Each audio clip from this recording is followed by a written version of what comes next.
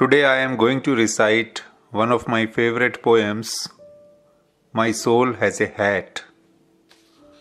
I counted my years and realized that I have less time to live by than I have lived so far.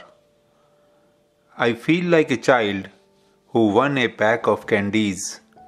At first, he ate them with pleasure, but when he realized that there was little left, he began to taste them intensely. I have no time for endless meetings where the statutes, rules, procedures, and internal regulations are discussed, knowing that nothing will be done. I no longer have the patience to stand absurd people who, despite their chronological age, have not grown up. My time is too short. I want the essence. My spirit is in a hurry. I do not have much candy in the package anymore.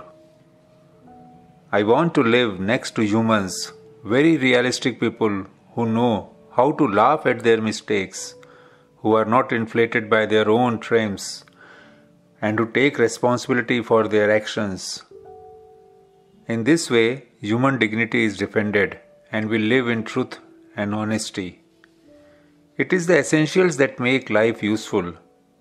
I want to surround myself with people who know how to, how to touch the hearts of those whose hard strokes of life have learned to grow with sweet touches of the soul.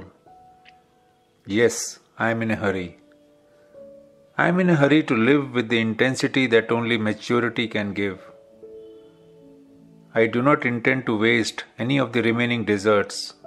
I am sure they will be exquisite, much more than those eaten so far.